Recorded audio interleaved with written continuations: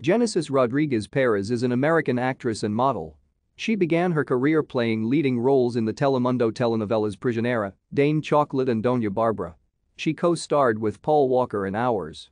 She also played Sarah on Entourage and assistant museum curator adventurer Jane Walker on Time After Time and has starred in the films Man on a Ledge, Casa de Mi Padre, What to Expect When You're Expecting, The Last Stand, Tusk and Run All Night. She provided the voice for Honey Lemon in Big Hero 6, a role she reprises in the TV series. Rodriguez was born July 29, 1987, in Miami, Florida. Her mother, Luisa Carolina Carol Perez Rodriguez, is a Cuban model. Her father, Jose Luis Rodriguez, is a Venezuelan actor and singer who is also known by the nickname El Puma. Her parents married in 1996.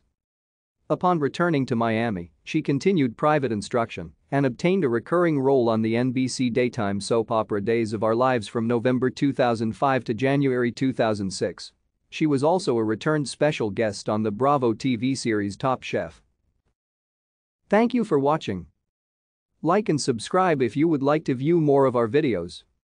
Have a nice day.